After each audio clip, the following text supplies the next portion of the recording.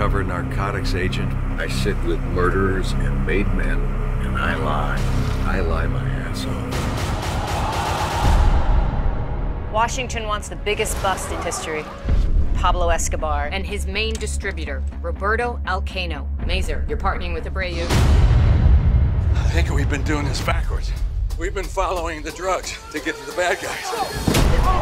What if we chase the money?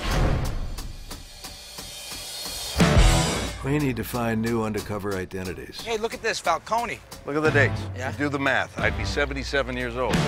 That's about right. Leathery and craggly. Here we go. Bob Musella. Welcome to a life of crime. Let's do this. Welcome to the United States. These men Dismantle undersold the money for the cartel. I need a face-to-face with your boss. It was an audition.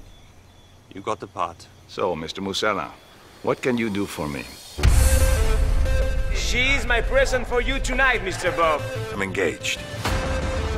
So, Are you kidding me? A fiance, Bob? Meet your soon-to-be wife. Kathy Ertz, Bob Mazur. I wish you many happy years.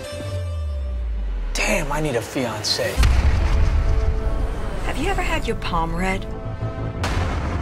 Destiny has marked you. You know who's the biggest money launderer in the U.S.? I thought it was me.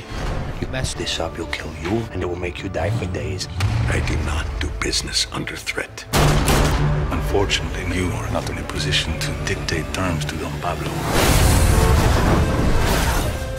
This is a cop.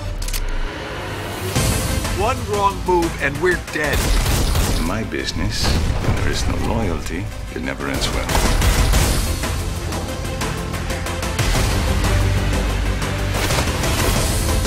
Are you in danger from Pablo Escobar? We have a chance to take them all down.